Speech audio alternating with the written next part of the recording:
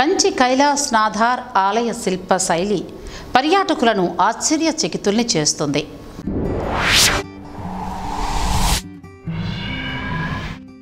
కంచి లేదా కాంచీపురం అనగానే మనకి తక్కువను గుర్తుకొచ్చేది కంచిపట్టు చీరలు బంగారు వెండి బల్లి మాత్రమే కాదండి. సుమారు వెయ్యికి పైగా దేవాలయాలు కలిగి ఉన్నాయి ఈ ఊరిలో.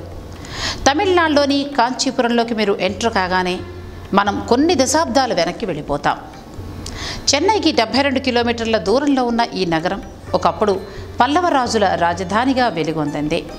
ఈ నగరానికి కంజీవరం అనే పేరు కూడా ఉంది. హిందువులకు మోక్ష ప్రధానమైన ఏడు నగరాల్లో కాంచీపురం ఒకటి. మోక్ష భూమి శక్తి భూమిగా ఈ క్షేత్రం ఎంతో పవిత్రమైందిగా హిందువుల నమ్మకం. గరుడ పురాణం ప్రకారం మోక్షాన్నిచ్చే నగరాలు ఏడు. అవి వరుసగా అయోధ్య మధుర హరిద్వార్ కాశీ అవంతిక ద్వారక కంచి అంత ప్రాముఖ్యత కలిగిన ఈ నగరంలో అడుగడుగునా మనకు దేవాలయాలే దర్శనమిస్తాయి. కంచి నగరంలో ఎక్కువగా ఆ పరమశివుడు మరియు విష్ణువు ఆలయాలే మనకు కనిపిస్తాయి. అందుకే కంచీపురమును శివకంచి మరియు విష్ణు కంచి అనే రెండు నగర భాగాలు ఉన్నాయి. ముఖ్యంగా అష్టాదశ శక్తి పీఠాల్లో ఒకటిగా వెలుగొందుతున్న కామాక్షిదేవి ఆలయం కూడా కాంచీపురంలోనే కొలువై ఉండడం విశేషం. అంతేకాదు ఇక్కడ ప్రసిద్ధి చెందిన ఏకాంబరేశ్వర ఆలయం దేవరాజస్వామి వారి ఆలయం కైలాసావతార్ లేదా కైలాసనాథ్ ఆలయాలు కూడా సందర్శించదగినవిగా చెప్పబడుతున్నవి. మరి ఈరోజు కైలాసనాథార్ ఆలయ విశేషాలేంటో తెలుసుకుందాం. కైలాసనాథార్ ఆలయం లేదా కైలాసనాథ్ ఆలయం బహుశా నగరంలోని అతి పురాతన ఆలయం ఐదు వందల అరవై ఏడవ సంవత్సరంలో కట్టారు. రాజసింహ పల్లవరాజు ఏడవ శతాబ్దంలో దీన్ని విస్తరించారు. పల్లవులు నిర్మించిన ఈ ఆలయం అతి పురాతనమైనది. ఈ ఆలయం వాస్తు సంపదకు శిల్ప సంపదకు ఎన్నో అపురూపమైన శిల్పాలకు ఎంతగానో ప్రసిద్ధి చెందింది. కైలాస్నాథార్ ఆలయం శిల్ప శైలి పర్యాటకులను ఆశ్చర్యచకితుల్ని చేస్తుంది. ఈ ఆలయాన్ని శివుని మీద భక్తితో ఎనిమిదవ శతాబ్దంలో పల్లవరాజు నరసింహవర్మన్ నిర్మించారు. చారిత్రక ప్రసిద్ధిని పొందిన ఈ ఆలయ నిర్మాణానికి సంబంధించిన పురాణ గాథ గురించి తెలియకున్నా నిర్మాణ విశేషాలు మాత్రం తరగనివే.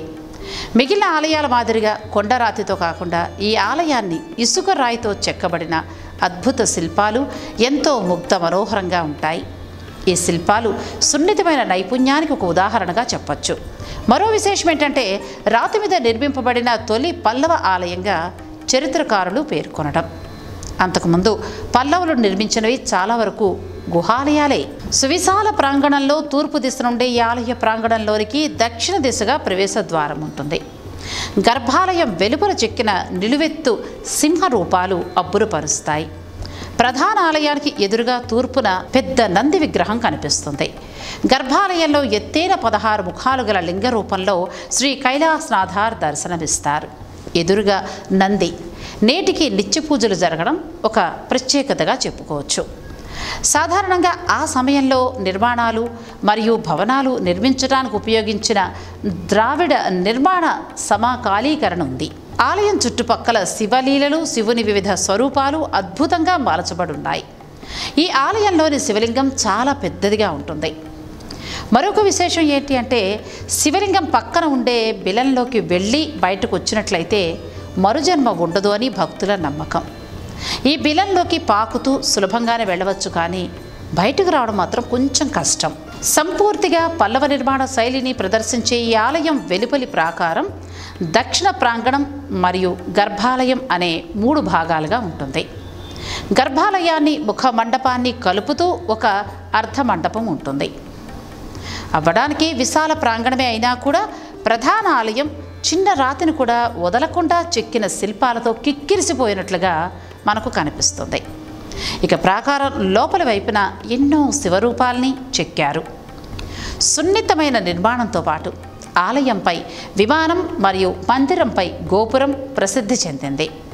ఆలయం కూడా నటరాజ్ భంగిమలో ఉన్న శివుని యొక్క నగిషీలు చెక్కి ఉన్న ప్యానెళ్ళు ఉన్నాయి. ధ్యాన నర్తన అసుర సంహార త్రిపురాంతక రుద్ర గంగాధర లింగోద్భవ భిక్షాందార్ అర్ధనారీశ్వర. ఇలా ఎన్నో అదేవిధిగా శ్రీ గణపతి కార్తికేయ దుర్గ శ్రీ విష్ణు రూపాలు కూడా కనబడతాయి. ఇవన్నీ మన భారతీయ శిల్పకళా నైపుణ్యానికి శాస్త్ర విజ్ఞాన కళా వైభవానికి కలికి తురాయని చెప్పుకోవచ్చు. మండపంలోనూ మండప స్తంభాలలోనూ ఎన్నో శాసనాలు మనకి కనిపిస్తాయి. వీటిలో చాలా వరకు పల్లవరాజులు శ్రీ కైలాసనాథార్ స్వామికి సమర్పించుకున్న కానుకల వివరాలు మరియు వారి శివభక్తిని తెలిపేవే. రాజరాజ చోళుడు ఈ కైలాసనాథార్ దేవాలయాన్ని దర్శించి ముగ్ధుడై తంజావూరులో బృహదీశ్వర్ ఆలయాన్ని నిర్మించారు అనేది ప్రతీతి. పద్నాలుగు వందల సంవత్సరాల క్రితం నాటి ఈ ఆలయం వేదవతి నదీ తీరంలో కంచి పట్టణానికి పడమర దిక్కున బస్టాండుకు ఐదు కిలోమీటర్ల దూరంలో ఉంటుంది. ఈ ఆలయాన్ని ఇప్పుడు పురావస్తు శాఖ వారు తమ ఆధీనంలోకి తీసుకున్నారు. నారదుడు ఇక్కడ శివలింగాన్ని ప్రతిష్ఠించాడనేది స్థల పురాణం. ఇక్కడ శివలింగం చుట్టూ ప్రదక్షిణ చేసినట్లయితే కనుక పునర్జన్మ నుండి మీకు విముక్తి కలుగుతుంది అని చెప్తారు.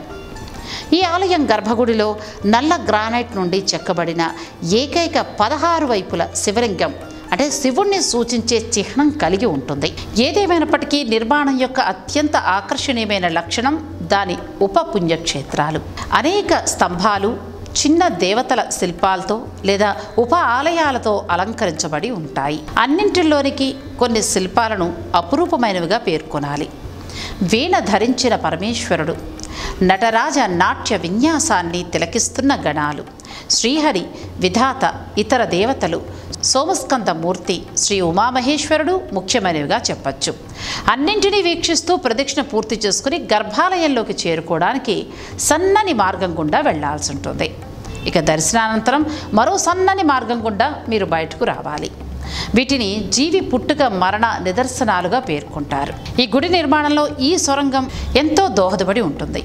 కానీ సుమారు తొంభై కిలోమీటర్ల సొరంగం చేయటం దాన్ని ఉపయోగించటం ఎలాంటి సాంకేతిక పరిజ్ఞానం నిపుణత ఆ కాలంలో ఉండేవో అలాంటివి మనం ఎంత కోల్పోయామో ఇప్పటి తరాలకు కనీసం తెలియచేస్తే చాలు. ఈసారి కంచికి మీరు వెళ్ళినప్పుడు కేవలం పట్టుచీరల షాపింగ్లోనే మునిగిపోకండి.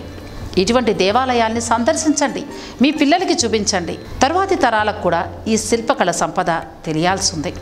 అటువంటివన్నీ వెతికి మీ అందరికీ తెలియజేయడమే మా ప్రయత్నం. మీకు నచ్చినట్లయితే ఛానల్ని సబ్స్క్రైబ్ చేయండి వీడియోను లైక్ చేయండి షేర్ చేయండి. ఇలాంటి మరిన్ని విశేషాల కోసం మా ఛానల్ని సబ్స్క్రైబ్ చేయండి.